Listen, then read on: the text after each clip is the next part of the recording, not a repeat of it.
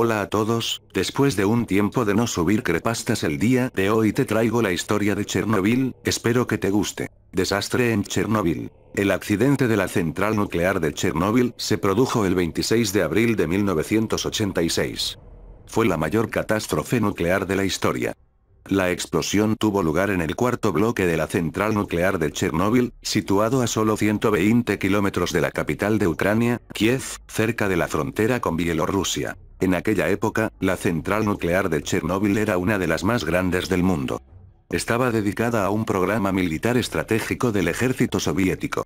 El accidente ocurrió debido a la coincidencia de varios factores. Además del hecho de que el reactor no tuviera un sistema de seguridad actualizado, tenía un bajo nivel de automatización. En la fatídica noche del 26 de abril, había un experimento en marcha, el cual debería haber probado la gama inercial de la unidad turbogeneradora. El sobrecalentamiento del combustible causó la destrucción de la superficie del generador. A las 1.24 de la madrugada, hora local, entre 40 y 60 segundos después del comienzo del experimento, dos grandes explosiones se produjeron. Según algunos expertos, hubo un fallo en el proceso que pone en marcha el sistema automático de seguridad por tan solo dos segundos. Esto debería haber frenado el sobrecalentamiento del turbogenerador. El vapor liberado por la primera explosión destruyó el techo de hormigón del reactor, que pesaba 1200 toneladas. La segunda explosión tuvo lugar solo entre 2 y 5 segundos después de la primera.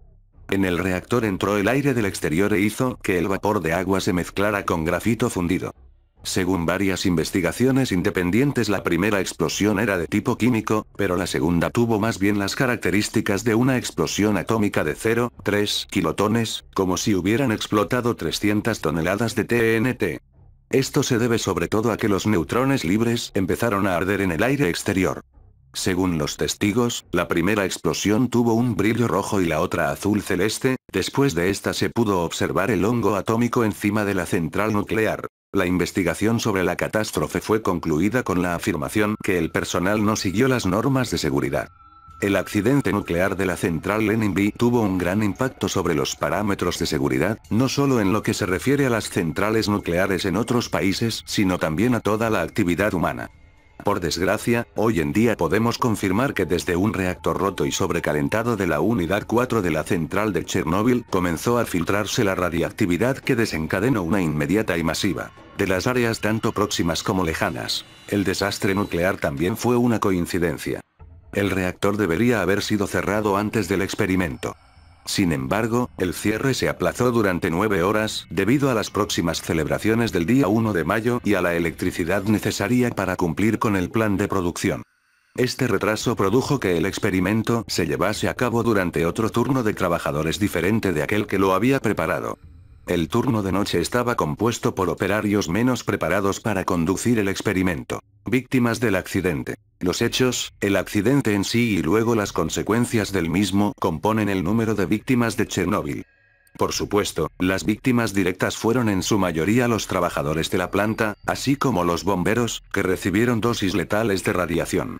La mayoría de las víctimas directas están enterradas en el cementerio Mitino en Moscú, cada cuerpo está conservado en un ataúd de hormigón, debido a su alta radiación. La contaminación radiactiva se difundió principalmente a la ciudad cercana de Pripyat.